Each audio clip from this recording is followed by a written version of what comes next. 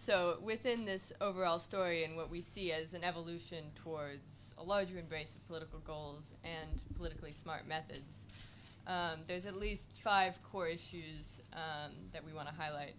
The first is this continuing division between the instrumental and the intrinsic justifications for political goals. So, as Tom mentioned, governance and democracy support had quite different origins. Governance came from sort of the economic realization that the state was actually an important actor in development and you needed well functioning institutions to get socioeconomic development. Whereas democracy support came from the end of the Cold War, the third wave of democracy, the sudden sort of idea that there was a new global consensus around the value of liberal democracy and human rights. And towards the sort of early 2000s, some donors were firmly in the democracy camp, like USAID, though it also has governance divisions. Some, like the World Bank, and for the most part, um, the UK, were more on the governance side, saying, okay, we're not going to make explicit statements about democracy. Um, and then many donors centered, including the EU and UNDP, around the idea of democratic governance, of saying, okay, well, we think effective institutions are important, but we also think that participation, accountability, and transparency are important. They all go together, we'll promote them together. Um, but in a way that never resolved the tension between this instrumental argument and the intrinsic argument.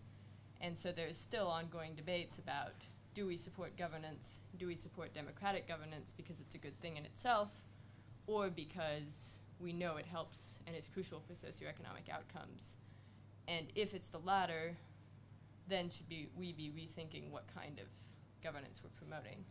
Um, which leads to the second um, major issue around the tension sometimes between political goals and politically smart methods.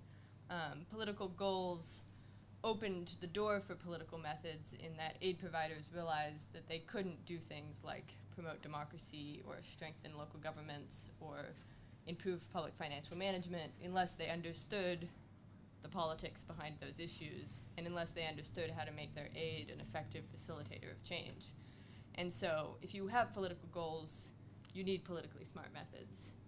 But interestingly, moving on politically smart methods doesn't have to lead to political goals and can even lead to a questioning of donor political goals.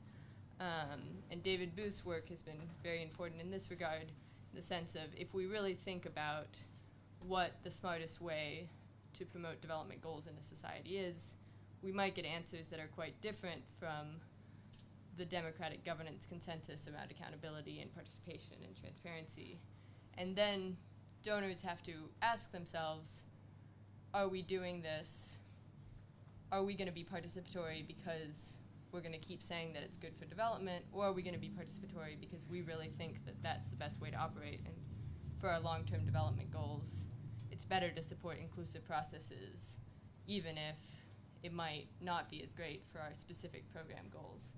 And so there's this real tension between of how much do we include political values within the idea of politically smart methods um, and that hasn't been acknowledged or dealt with by any of the donors really that we studied. Um, and both this issue around in- instrumental and intrinsic goals and around political goals and politically smart methods lead to a further challenge around how to integrate this across development work because the idea behind both the instrumental case and behind politically smart methods is not just to inform specific programs working on governance, but is to make sure that all assistance, including in health and in agriculture and in transport and economic growth, are politically informed and are contributing to effective institutions in the country. Um, and while most donors at the policy level say, of course, all of our work works together and supports these ideas, it's very complicated on the operational side to actually make sure that all these programs are reflecting these principles. One, because donors aren't clear exactly what everything should reflect. Should they all be using politically smart methods in the sense of all programs should have a political analysis? Or should they all be committed to certain princ- governance principles, like all programs should take participatory approach? Or should it even be more goals oriented in that all programs should be furthering sort of prospects for democracy and human rights?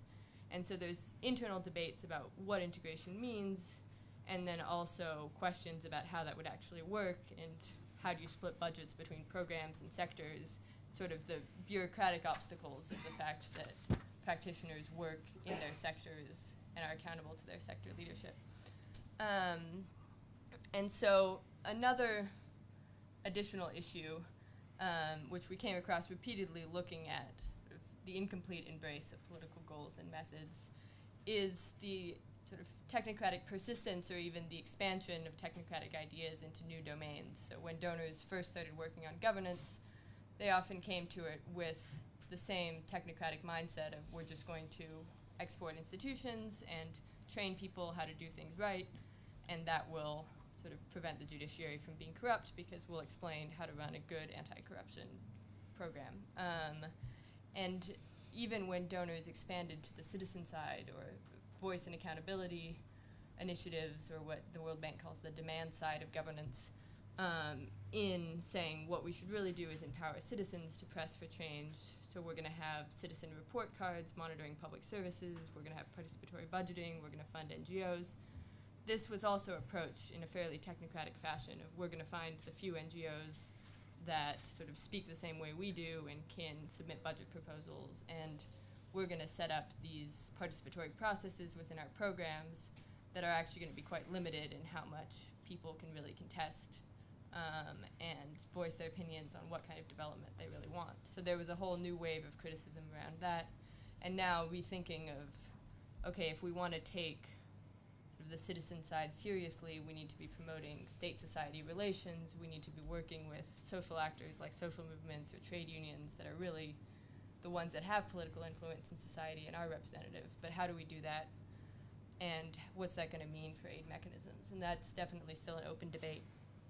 And then just finally, um, a fifth issue is the reactions by partner governments and recipient countries um, who often saw this rise of both donor work on political issues and particularly funding for civil society organizations and increased donor analyses and questioning of politics with a good amount of worriness because both they didn't like the fact that donors were now working with other social actors beyond just governments. They didn't like the fact that donors were commissioning analyses which often pointed to corruption and patronage systems and other things.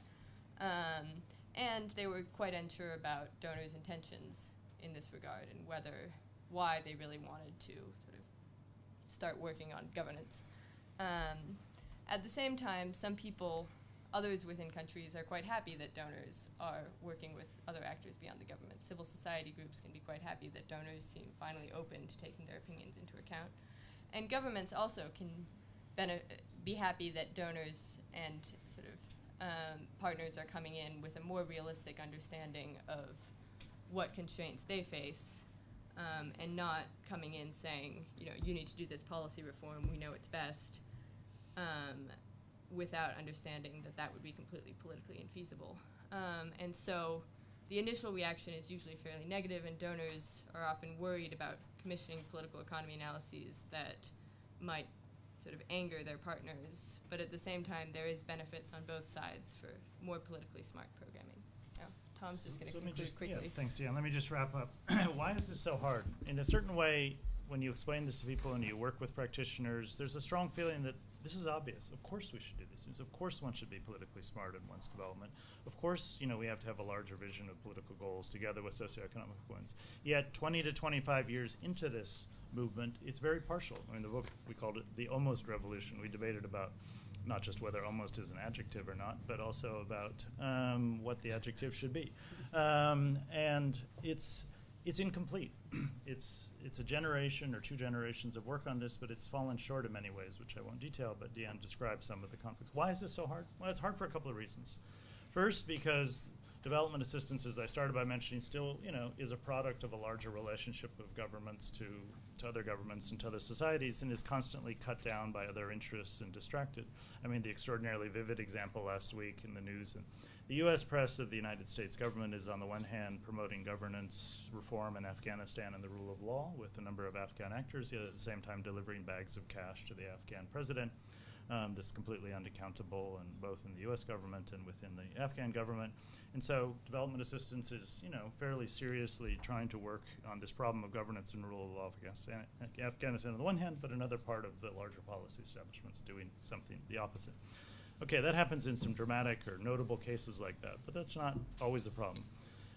A problem that does pervade the community still is um, the fact that there is an ongoing empirical scholarly debate about whether the quote Western model of governance, however one defines it, narrowly or broadly, how much it really contributes to good socioeconomic outcomes. And we have a whole chapter devoted to what we call the unresolved debate.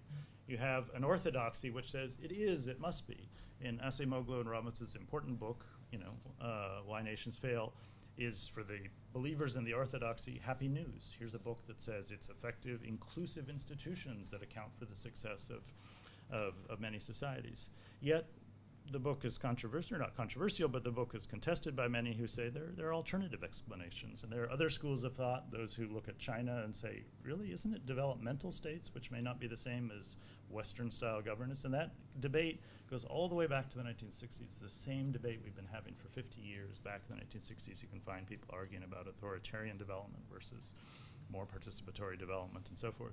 It's still deeply unresolved. And within mainstream aid organizations, when you scratch up to the middle and senior levels, you find a lot of mainstream economists who deep down don't buy the empirical argument for embracing a political governance agenda.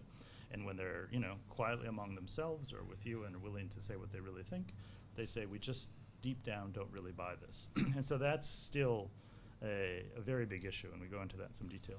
Third, the trends in the aid, aid world, on the one hand, are towards this, but other trends in the aid world cut directly against it. uh, for example, uh, the pressure that all mainstream aid providers feel to value for money, do more with less, prove your results, prove impact. This works in many ways against more politically sort of agile and smart methods, in some cases political goals, because doing more with less means you have a lot fewer staff proportionate to the amount of assistance you're giving. But as we look at politically smart assistance is labor intensive. You have to do political analysis. You have to have more people on the ground. You have to be willing to work in partnership with more local actors that might be different kind of cost structure. And yet the doing more with less reduces the aid community more and more to being constrained in terms of its, its resources it can bring to these problems. Similarly, the results pressure, which is really just like a fever in donor capitals. I mean, whether you go to Stockholm or Ottawa or Brussels or London or Washington, you know, there's a results you know, there's an intense results pressure that aid organizations are feeling, and thus there's a tremendous value being placed on more definite, sometimes quasi-scientific, sometimes scientific methods for assessing results, double-blind testing, randomized control trials, and other things, which, if misused, um, can really constrain your flexibility and thoughtfulness in your assistance work. It makes makes it harder to define wider goals like what is a good legislature as opposed to um, you know, what is a vaccination program that reaches these five villages into goals? And on methods, can you have the kind of flexibility needed in a randomized control trial type program to change your goal halfway through if you learn that, you know, adverse circumstances? And we have a section where we talk about is the this new results pressure going to deform the very insights or prohibit the very insights we've arrived at after all these years? And then the fourth reason this is difficult is that the larger international context for assistance has changed fundamentally. Remember that this whole drive towards politics and development grew out of a very positive post Cold War environment of self confidence about the Western political economic model, a feeling of no real competitors in the developer developing field, sort of like it's us or nobody, and also more political space. End of the Cold War rivalry. You could go to another government and say, you know, we're picking on you over there in Malawi, not because we're, you know, worried about your ties to the Soviet Union, because we just think you're governing yourselves badly. More freedom for, for, for that. All of that's changing uh, today. Obviously, I don't need to say that, you know, Western confidence in our own economic and political model is not what it used to be, and it doesn't command any immediate respect anywhere in the developing world, and certainly in question. There are competitors out there in the development world who offer other models, and you know, obviously people talk about Chinese aid, but it's not just China. Korea is becoming an active donor in many ways. Japan has always been an active donor, but is still a very large player, and others who have a very different view of these things. And uh, the field is much more competitive. And then, thirdly, the political space for this assistance. At the very moment, in a sense, that we've realized we really do need to be political, many governments are saying, yeah, we've sort of figured out what you mean by that, and we don't like it. and so, last week, for example, the president of Bolivia, in a May Day speech, announced that I'm going to close down U.S. assistance in this country once and for all. To loud cheers, the program's being closed down. You know, it was hundreds of millions of dollars of health work, education, literacy, agriculture work is being closed down because he says assistance has become too political. I don't want this anymore in the country. And so at the very moment, donors say, oh, we have the answer. We're going to be really political. Um, countries are saying, yeah, yeah, goodbye. Uh, and so there's a, something is in a sense a bit of a drama at the end of the book in, is that it's taken us 20 years to get our act together both intellectually and practically to embrace this agenda but at the very moment internationally where the ground for it is much weaker than it once was so it's only almost a revolution yeah